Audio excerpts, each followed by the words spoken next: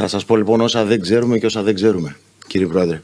Διότι το θέμα μου είναι και παθοφυσιολογικό και θεραπευτικό, οπότε και στους δύο μεγάλους αυτούς τομείς. Περισσότερα είναι αυτά που δεν ξέρουμε παρά αυτά που ξέρουμε επιδημιολογικά. Σίγουρα μιλάμε για μια ε, φαινοτυπική έκφραση σχεδόν του 50% των ασθενών με κλινική καρδιακή ανεπάρκεια. Το ξέρετε πάρα πολύ καλά και ξέρετε ότι τα τελευταία χρόνια και για διαγνωστικούς λόγους, μεγαλύτερης ακρίβειας ή ευκρίνειας ή ε, εισόδου διαφόρων τεχνικών στην φαρέτρα μας έχουμε αυξήσει το ποσοστό και του υποπολασμού και της επίπτωσης των ασθενών που πάσουν από καρδιακή ανεπάρκεια με διατηρημένο κλάσμα εξωθήσεως φτάνουν πάνω από 50% σχεδόν με ό,τι αυτό συνεπάγεται σε δημοσιοοικονομικό κόστος αλλά και σε φορτίο αναπηρίας αν θέλετε. Μεγάλη είναι και εδώ η ενδονοσοκομιακή θνητότητα και η βραχυπρόθεσμη ή μέσο μακροπρόθεσμη επανανοσηλία θνητότητα αυτών των ασθενών. Παθοφυσιολογικά με εκφράζει πάρα πολύ η θεωρία του Μπρουτσάερ που λέει ότι όλοι γεννιόμαστε με ένα δεδομένο γενετικό υλικό και σιγά σιγά αρχίζουμε να μεγαλώνουμε και σε αυτή την όμορφη πορεία ε, δεχόμαστε επιρροή από τους τροποποιητές της νόσου, όπως λέει, της disease modifiers. Δηλαδή, άλλος θα γίνει υπερτασικός, δυσλεπιδεμικός, θα καπνίσει. Πολλοί από αυτούς δεν κάνουν έμφραγμα. Κάποιοι από αυτούς θα κάνουν έμφραγμα. Αυτοί που θα κάνουν έμφραγμα θα πάνε κυρίως προς έκεντρη υπερτροφία, ενδεχομένως λοιπόν προς φαινότυπο καρδιακής ανεπάρκειας με χαμηλό κλάσμα. Οι υπόλοιποι που θα συνεχίσουν να έχουν την υπέρταση για 3-5 χρόνια διάγνωστη, αυξημένο μεταφορτίο, θα δούμε την ε, συγκεντρική υπερτροφία, θα πάνε προς την καρδιακή ανεπάρκεια, αν εκδηλώσουν βεβαίως συμπτώματα, καρδιακή ανεπάρκεια με διατηρημένο κλάσμα εξωθήσεως. Οπότε υπάρχουν διάφορες θεωρίες, είτε πιο συμβατικές ή αν θέλετε παραδοσιακές, που επιμένουν στο αυξημένο μεταφορτίο στην αγκιακή δυσλειτουργία, αν θέλετε, η οποία συνεπάγεται αυτήν την ίνωση, την αρχόμενη ή προχωρημένη συγκεντρική υπερτροφία με την έκφραση της διαστολικής δυσλειτουργίας, σιγά σιγά μεταβίβαση πιέσεων από την αριστερή κοιλία προς τον αριστερό κόλπο, διάταση του αριστερού κόλπου, αύξηση της ε, φλεβικής, αν θέλετε, πνευμονικής κυκλοφορίας. Αυτό αρχίζει να δημιουργεί αυξημένες πιέσεις στην δεξιά κοιλία, στο δεξιό κόλπο, κατακράτηση διέγερση όλων των συστημάτων ελληνική αγκιοτενσίνη, συμπαθητικό νοικό σύστημα, αλλά με διατηρημένο κλάσμα αρχίζουμε να έχουμε έντονη συμπτωματολογία που αφορά είτε κατακράτηση είτε κυρίως αυξημένες πιέσεις. Και βεβαίως στο παιχνίδι μπαίνουν οι πολλές συνοσυρότητε, όπως είπαν και οι δύο πρόεδροι και τόνισαν και έχουν απόλυτο δίκιο, όπου δημιουργώντας ένα προφλεγμονώδες ή αμυγός φλεγμονώδες περιβάλλον, αυτό έχει επίδραση απευθείας και στο ενδοθήλιο των περιφερειακών αγκίων και στο ενδοθήλιο της μικροκυκλοφορίας της στεφανίας κυκλοφορίας, με αποτέλεσμα άλλοτε άλλου βαθμού, όπως θα σας δείξω, προβλήματα. Εδώ πέρα κλασικά η καρδιά τι καταλαβαίνει, καταλαβαίνει αυξημένη τάση. Όταν έχω αυξημένο μεταφορτίο, όταν είμαι υπερτασικός, τι προσπαθώ να κάνω λοιπόν, προσπαθώ να αυξήσω λογικά με βάση το νόμο του Λαπλάς το έτσι. Το πάχος του τοιχώματος, το οποίο θα μου ρίξει τις τάσεις. Γι' αυτό βγάζω και νατριουρητικά πεπτίδια, διότι είναι ένας αντιρροπιστικός μηχανισμόςς προκειμένου να ελαττωθεί η τάση ουσιαστικά. Η καρδιά δεν βλέπει κάτι άλλο. Άρα θα κάνω συγκεντρική υπερτροφία όπως πολύ καλά ξέρετε. Όταν εδώ πέρα επικαθίσουν όμως και συνοσυρότητε τύπου παχυσαρκία, τύπου σαχαρόδους διαβήτη, σιγά σιγά έκπτωση άλλο το άλλο βαθμού νεφρικής λειτουργίας. Ή ανεμία, η χρόνια αποφρακτική πνευμονοπάθεια, τότε αρχίζει αυτό το προφλεγμονώδες περιβάλλον με τις ρίζες οξυγόνου όπως βλέπετε, πέφτει η διαθεσιμότητα ή η βιοδιαθεσιμότητα του οξυδίου του αζότου και αρχίζουν προβλήματα στο δια... στην διαλυτή γουανιλική κυκλάση, στο GMP, στην ε, φωσφοριλίωση, στη CPK, με αποτέλεσμα υπερτροφία, ίνωση, απόπτωση, συγκεντρική υπερτροφία, remodeling της καρδιάς. Και αυτό ξαναλέω μπορεί να μεταφραστεί στην ενδοθυλιακή λειτουργία τόσο των περιφερικών αγκίων όσο και της μικροκυκλοφορίας. Βεβαίως, η παθοφυσιολογία του συγκεκριμένου συνδρόμου είναι πολύ μακρά, πιο πολύπλοκη από το να τα παρουσιάσουμε τόσο απλά. αναφέρθηκε και η Χριστίνα πριν στους παθοφυσιολογικούς μηχανισμούς και των δύο φαινοτύπων. Υπάρχει σίγουρα αγκιακή δυσλειτουργία και αυτό το καταλαβαίνουμε και θα σας δείξω γιατί διότι η καρδιακή επάρκεια φαίνεται να αποτελεί μια ακραία μορφή υπερτασική καρδιοπάθειας και προϊούσει της ηλικίας αυξάνεται η επίπτωσή της κυρίως διότι μεταφέρεται η, η, η αγκιακή δυσλειτουργία και το stiffness της καρδιάς και των περιφερικών αγκίων κεντρικότερα με αποτέλεσμα να αυξάνει η συστολική πίεση, να πέφτει η διαστολική, να αυξάνει το pulse pressure και αυτοί οι ασθενείς να καθίζονται όλο και πιο συχνά συμπτωματικοί. Σε όλα αυτά επικάθονται προβλήματα σύνοσυροτσίτων, προβλήματα από τον αριστερό και τον δεξιό κόλπο, αριθμιολογικό υπόβαθρο, αγκιακό υπόβαθρο και υπόβαθρο μικροκυκλοφορίας της στεφανίας τάχη καρδία, ελάττωση της διαστολικής περίοδου πλήρωσης. Ας δούμε όμως μερικά πράγματα. Θα ακούσετε πολλές φορές για πολλούς που υποστηρίζουν ότι είναι νόσος ή σύνδρομο των συνοσυρωτήτων. Βεβαίως, στην καρδιακή ανεπάρκεια, όσο περισσότερες είναι οι συνοσυρωτήτες και στους δύο φαινοτύπους, ε, τόσο χειρότερη η πρόγνωση. Και βεβαίως γνωρίζετε πολύ καλά ότι ένα μεγάλο ποσοστό των καρδιακών θανάτων ή των νοσηλειών των ασθενών με διατηρημένο κλάσμα οφείλεται σε μη καρδιολογικά αίτια. Μπορεί να φτάνει και συνολικά το 50%. Δηλαδή, οι μισοί ασθενεί με καρδιακή ανεπάρκεια και διατηρημένο πεθαίνουν από άλλα αίτια. Αυτό δεν σημαίνει όμως ότι μιλάμε για νόσο των συνοσυρωτήτων. Εγώ θα σας δείξω ένα πολύ ωραίο slide που λέει ότι αν πάρουμε διάφορες χρόνιες παθήσεις που έχουν το ίδιο burden όπως λέμε, φορτίο συνοσυρωτήτων, πάντα η καρδιακή επάρκεια με διατηρημένο κλάσμα εξωθήσεως έχει χειρότερη πρόγνωση από αυτές. Άρα δεν είναι το φορτίο των συνοσυρωτήτων μόνο αν μη τι άλλο. Κάτι υπάρχει και σε αυτήν καθ' αυτήν την πάθηση. Το σίγουρο είναι ότι όταν βλέπετε μια ηλικιωμένη γυναίκα παχύσαρκη να μπαίνει με δύσπνοια προσπαθίας από την πόρτα των επιγόντων, το μυαλό σας πηγαίνει στην καρδιακή επάρκεια με διτριμμένο κλάσμα. Όμως, σε αντίθεση με ό,τι μπορεί να πιστεύουμε, σε όλα τα μεγάλα πρόσφατα registries, η επίπτωση κλινικά τουλάχιστον, ας μην πηγαίνουμε στο στατιστικό, διότι άμα πάρουμε 2 εκατομμύρια πληθυσμό, η υπέρταση μπορεί να είναι 72% εδώ και 68% εκεί, αλλά αυτό δεν είναι κλινικά σημαντικό παρότι μπορεί να φαίνεται και ή να βγει στατιστικά σημαντικό. Κλινικά, όπως βλέπετε, όλα αυτά που θεωρούμε τα της διαστολικής σοκόλ παλιότερα καρδιακής ανεπάρκειας δεν είναι κλινικά σημαντικά στο να επιδράσουν στο συγκεκριμένο φαινότυπο. Και όπως βλέπετε εδώ πέρα, το Π είναι στατιστικά μη σημαντικό για πολλές συνοσυρότητες. Αυτό το έχουμε δείξει και εμείς. Όπου αν πάρεις φαινοτύπους διατηρημένου μέσου και χαμηλού, θα δείτε ότι μακράν η υπέρταση είναι στο διατηρημένο και μακράν το έμφραγμα του μυοκαρδίου είναι σε αυτούς που έχουν χαμηλό. Και αν πας σε αυτούς με μία νοσηρότητα, με, μία, με την μόνο νοσηρότητα όπως λέμε, για να δεις αιτιολογική συσχέτιση, θα δεις ότι μακράν αυτοί που πάσχουν από διατηρημένο είναι υπερτασική και βαρέως υπερτασική και μακράν αυτοί που πάσχουν από ελαττωμένο κλάσμα είναι εμφραγματίες και μάλιστα με σοβαρή έκπτωση. Και όταν τα βάλεις όλα αυτά, βλέπεις ότι η υπέρταση και το έμφραγμα του μυοκαρδίου μπορούν να καθορίσουν το φαινότυπο. Πώς μεταπίπτουμε σε καρδιακή επάρκεια συμπτωματική, σας είπα. Προϊόν της ηλικίας χαλάει η διαστολική λειτουργία και γιατί γίνεται αυτό το πράγμα. Στους ηλικιωμένους φαίνεται ότι η υπέρταση θα προκαλέσει σκλήρηση των αγκίων και μπαίνει σε ένα φαύλο κύκλο όπου η σκλήρηση των αγκίων θα αυξήσει τη συστολική πίεση, θα αυξήσει την ταχύτητα των ανακλωμένων κυμάτων, όπως λέμε το pulse wave velocity. Αυτό θα ρίξει τη διαστολική, ρίχνοντα τη διαστολική και κάνοντας ταχυκαρδία, ελαττώνεται η διαστολική περίοδος πλήρωσης των στεφανίων. Άρα μπαίνει και ένα κομμάτι ισχυμίας ενδεχομένως και με φυσιολογικά επικαρδιακά αγκία, βεβαίως υπερτροφία, αύξηση των απαιτήσεων για οξυγόνο και τελικά εκδήλωση της συμπτωματολογίας. Αυτό όταν κάτσουν διάφοροι τροποποιητές, όπως είπε και ο Μπρουτσάρτ, ή διάφορες συνοσυρότητες, επιταχύνει πολύ απλά τα πράγματα και τα πηγαίνει είτε πιο κοντά στην νοσηλεία, είτε πιο κοντά στο θάνατο.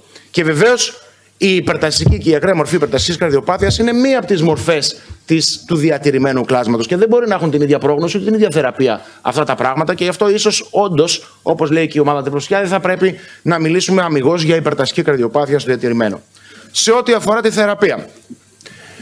Αυτά λέγαμε το 2012, ότι δεν υπάρχει θεραπεία που να βελτιώνει την επιβίωση. Αυτά λέμε το 2016, αυτά λέμε το 2019 θα μείνουμε στο ότι χρησιμοποιούμε όλα τα εναλφα, δηλαδή ουσιαστικά πρέπει να ρίξουμε τη συστολική αρτηριακή πίεση και να χρησιμοποιήσουμε τα διαιρετικά για την επισυφόρηση των ασθενών. Και από εκεί και πέρα όλα τα άλλα δεν είναι τελείως αποδεδειγμένα και ξέρετε ότι υπάρχουν πλήστες όσες κλινικών μελετών προοπτικών που έχουν χρησιμοποιήσει πρακτικά όλα τα φάρμακα που για άλλοτε άλλους λόγους, αν εξαιρέσουμε τα πρώτα του άξονα που ρίξαν λίγο την επανανοσηλεία, Όλα τα άλλα, όπως βλέπετε, είναι ουδέτερα και μπορούμε στη συζήτηση να αναλύσουμε τους λόγους. Υπάρχουν ετερογένειε στις κλινικές μελέτες, δεν υπήρχαν σαφείς ορισμοί, δεν υπήρχαν σαφή κατόφ, δεν υπήρχαν σαφή διαγνωστικά μοντέλα. Ναι, ναι, ναι, ή και κακές Κακοί σχεδιασμοί, κακές εισαγωγές. Το ξέρουμε πάρα πολύ καλά τι συνέβη στις πρώην Ανατολικές χώρες και τι συνέβη στις Δυτικοευρωπαϊκές, στην Τόπκατ και πώς ακυρώνουν μια μελέτη. Και γι' αυτό οφείλει η σπυρονολακτών ή η επλερινών να έχει μια δεύτερη ευκαιρία. Πάντως, έχουν δοκιμαστεί PDE5 inhibitors, δεν δείξανε τίποτα. Έχουν δοκιμαστεί ε, ε, της, ε, του διαλυτού παράγοντα της γουανελικής και κλάσεις όπως είναι το Verisiguat. Πάλι δεν έδειξε τίποτα στο Σοκρατσάν και τρέχει η Βικτόρια. Η εταιρεία προσπάθησε να δώσει μια δεύτερη ευκαιρία σε μεγαλύτερο πληθυσμό. Δεν έχουν κάνει τίποτα και τα νητρόδη. Προσπαθήσαμε με την Ιβαμπραδίνη να ρίξουμε το heart rate για να έχουμε μεγαλύτερη διασωλική πλήρωση. Τίποτα σε κανένα καταληκτικό, όσο soft και αν ήταν αυτό, ποιότητα ζωής, BNP ή 6 minute walking distance. Αυτό που φαίνεται να κάνει διαφορά είναι η άσκηση και μόνο η άσκηση. Γι' αυτό λοιπόν υπάρχει μια πληθώρα μελετών που μελετάει σε πάρα πολλά μονοπάτια όπως βλέπετε του κλινικού συνδρόμου και στοχεύει είτε δομικές είτε λειτουργικές άλλαγες είτε συνοσυρότητες με απότερο σκοπό κάποια στιγμή να μιλάμε για ένα εξατομικευμένο προφίλ ασθενούς που ανάλογα με την πάθηση, τις συνοσυρότητες, την ηλικία να μπορέσουμε να σκιαγραφίσουμε καλύτερα και να θεραπεύσουμε καλύτερα τον ασθενή μας. Κλείνοντας, θα κρατήσω δύο-τρία μαθήματα που έχουμε από τη θεραπεία της υπέρτασης λέγοντας ότι και στη sprint ρίχνοντας πάρα πολύ περισσότερο την συστολική αρτηριακή πίεση. Είδαμε θεαματική ελάττωση στους ασθενείς που χρειάστηκε να νοσηλευτούν με οξύ απορρίθμιση καρδιακής ανεπάρκειας ή με νοεμφανιστήσα καρδιακή ανεπάρκεια και στην hepatic outcome είδαμε ότι ρίχνοντας την πίεση αλλά και διουρώντας με την εμπαφλιγλωζίνη, όπως υπόθηκε πριν, μια θεαματική βελτίωση στο θέμα των νοσηλειών και νεοεμφανιστή σα καρδιακή ανεπάρκειας, 35% παρένθεση εμπαφλιγλωζίνη ελάττωσε την ε, ε, ε, arterial stiffness στα περιφερικά, στα κεντρικά περιφερικά και στην αορτή. Και γι' αυτό της δίνεται αυτή η ευκαιρία, όπως ξέρει πολύ καλά ο πρόεδρος που την οργανώνει με την Emperor, αλλά βεβαίως έχουμε και νεότερα φάρμακα, όπως υπόθηκε πριν για τη συστολική καρδιακή ανεπάρκεια. Η διπλή αναστολή, που σημαίνει διπλή αντιπερτασική αγωγή, έχει δείξει ότι σε μελέτες υπέρτασης, ρίχνοντας τη συστολική αρτηριακή πίεση, βελτιώνονται πολλοί δείκτες διαστολικών παραμέτρων, διαστολικής λειτουργίας, όπως επίσης φαίνεται να βελτιώνεται και η σκληρία της αορτής. Φαίνεται να βελτιώνεται αυτό το μεγάλο pulse pressure που έχουμε προϊούς της ηλικίας στους βαρέου υπερτασικούς και γι' αυτό ξέρετε πολύ καλά ότι τρέχει η μελέτη Paragon, όπου έναντι της Βαλζαρτάνη θα ε, ε, ελεγχθεί ο νεότερος διπλός παράγοντας σε διπλή αναστολή με άρνηση. Άρα, αν θα ήθελα συμπερασματικά να κρατήσετε δύο πράγματα, θα έλεγα ότι ναι, μεν στο φαινότυπο του διατηρημένου κλάσματος οι συνοσυρότητε είναι συχνές. Το ξέρουμε αυτό και για το ελαττωμένο κλάσμα. Ε, Συγκεκριμένες όμως συνοσυρότητε όπως είναι η υπέρταση και η ακραία αυτή η μορφή υπερτασική καρδιοπάθεια μπορούν να οδηγήσουν τον φαινότυπο προς το διατηρημένο κλάσμα. Είναι λοιπόν η πιο συχνή και η πιο σημαντική για μένα συνοσυρότητα, καρδιολογική συνοσυρότητα η οποία μπορεί να προκαλέσει συγκεκριμένο φαινότυπο. Υποβοηθούμενοι όμως από την αυξημένη σκληρία της αορτής προϊού της ηλικίας και ειδικά επιπαχή αργών ατόμων και δι γυναικών, διότι υπάρχει γενετικό υπόστρωμα για αυξημένη σκληρία σε αυτό τον πληθυσμό. Άρα όπως είδαμε και από τις μελέτες πρόληψης, πρέπει να χτυπήσουμε πάρα πολύ επιθετικά στη συστολική αρτηριακή πίεση, ώστε ελαττώνοντας την αρτηριακή σκληρία να ελαττώσουμε την πιθανότητα εμφάνισης του κλινικού συνδρόμου. Μέχρι τότε είναι λογικό να χρησιμοποιήσουμε ή να τεστάρουμε πάλι τη σπυρονολακτώνη για να ελαττώσουμε τις ε, επανανοσηλίες. Αυτό το είδαμε στην τόπικα στον δυτικό ευρωπαϊκό πληθυσμό. Πρέπει να συνταγογραφούμε προγράμματα άσκησης, αν και είμαστε τελευταίοι με 1% χρήση στην Ευρώπη. Και ενδεχομένως στο μέλλον να χρησιμοποιούμε τον εξατομικευμένο, τον εξατομικευμένο φαινότυπο Νεότερες προσεγγίσεις αποτελούν τους άρνης και την εμπαφλωζή. Μέχρι τότε, treat congestion and don't be afraid of worsening a function ενδεχομένως. Ελαττώνουμε αρτηριακή πίεση, δίνουμε διουρητικά, κοντρολάρουμε είτε το ρυθμό είτε τη συχνότητα του ασθενή και προσπαθούμε να διορθώσουμε και τις συνοσυρότητε. Ευχαριστώ πάρα πολύ για την προσοχή σας. Ευχαριστούμε πολύ, ε, κύριε Γιαμούζη. Ε, βέβαια, συμφωνώ με τα ε, συμπεράσματα που μας είπατε να πάρουμε σπίτι. Αλλά η καρδιακή ανεπάρκεια με διατηρημένο κλάσμα με εξώσεις προφανώς είναι ένα καλάθι όπως λέγαμε στη δεκαετία του 50 ε, πνευμονία χωρίς να ξέρουμε από τι είναι η πνευμονία. Άρα αυτό θα ισχύσει στην πλειοψηφία των περιπτώσεων που θα είναι υπέρταση αλλά υπάρχουν και άλλες καμιά τρενταριά παθήσεις που επίσης το αναφέρατε μέσω μια και είπατε να ακολουθήσουμε προσωποποιημένη, personalized ε, θεραπεία που είναι σωστό και το κάνουμε έτσι στην καθημερινή κλινική πράξη. Ε, αυτό που επίσης είναι νομίζω ιδιαίτερα σημαντικό ε, είναι η άσκηση και μάλιστα ο πρόεδρος πιθανώς σας έβαλε να τα πείτε αυτά γιατί η κυρία Τριβή του ήταν πριν από πολλά χρόνια κύριε πρόεδρε στην άσκηση αλλά είναι εξαιρετικά δύσκολο όπως σας έχει αναφέρει όπως ξέρετε και ο πρόεδρος ελληνικής καρδιολογικής εταιρείας σε άσκηση τον κύριο Αδαμόπουλο πριν από χρόνια πως είναι δύσκολο αυτή που μπαίνει 80 χρόνια στα επίγοντα ε, υπέρβαρη ε, μόλις φύγει από τα επίγοντα, που αν φύγει νύχα 2, αν μπει νύχα 2, νύχα 3 στα επίγοντα, μόνο θα τον παθολόγοι, τη πείτε από τους παθολόγους και μετά να έρθετε σε εμάς. Αλλά αν φύγει από τα επίγοντα από την κλινική, να τη πείτε αμαία, ε, αλντακτών, διουρητικά και πάρτε και τη συνταγή σας για την άσκηση την οποία θα κάνετε στο, στο σπίτι. Ε, άρα είναι λίγο πιο πολύπλοκο από αυτό. Το συζητάμε, το ξανασυζητάμε, αλλά κύριε Πρόεδρε και εσείς παρότι ξεκινήσατε αυτό για την άσκηση πριν από 25 χρόνια, δεν βλέπω ούτε τα προγράμματα άσκησης να αυξηθούν. Δεν ξέρω αν είμαστε τελευταίοι ή προτελευταίοι στην Ευρώπη, αλλά και στην υπόλοιπη Ευρώπη το ποσοστό είναι 1, 2, 2,5%.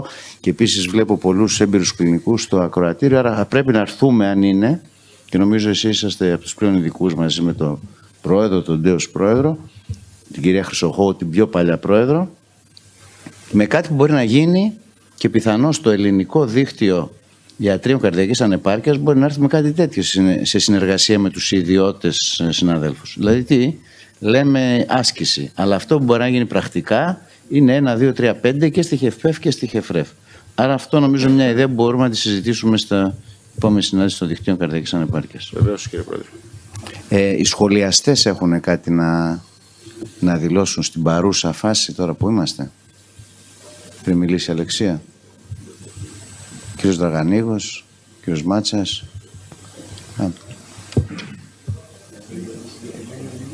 Ναι, ναι, ναι. ναι ε, καλημέρα. Καλημέρα. Συγχαρητήρια κυρία Γιαμούζη. Ε, μου άρεσε πάρα πολύ το σχόλιο του κυρίου Φιλιππάτου. Δηλαδή, παρακολουθούμε ομιλίες για την καρδιακή ανεπάρκεια που την έχουμε ξεχωρίσει σε ποικίλα κλάσματα εξωθήσεως.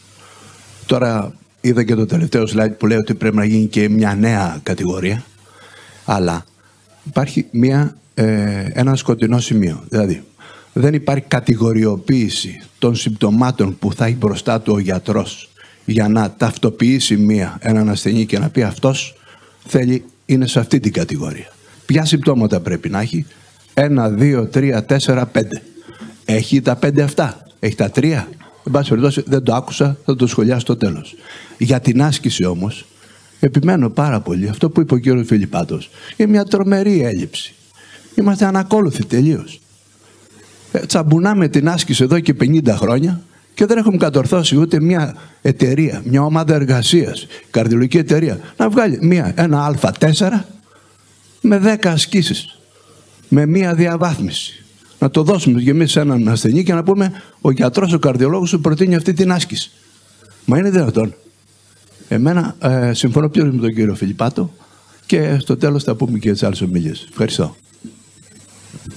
Ε, νομίζω συμφωνεί και. Συμφωνώ για το δεύτερο 100%. Για το πρώτο δεν υπάρχει περίπτωση να στηριχτούμε ποτέ σε κλινική συμπτωματολογία, είτε με ένα, δύο, τρία, τέσσερα. Το ξέρουμε ακόμα και το BNP μόνο του έναντι της κλινικής εκτίμησης και της συμπτωματολογίας ε, που πηγαίνει πάνω από 85% την διαγνωστική ακρίβεια, ενώ η συμπτωματολογία στο 60%. Άρα είναι κορώνα γράμματα και δεν μπορείς να διαφοροδιαγνώσει τίποτα που το clinical implication είναι η θεραπεία. Άρα για το πρώτο ε, είμαι δύσπιστος, για το δεύτερο συμφωνώ απόλυτα, δεν το συζητάμε και πρέπει να το κάνουμε.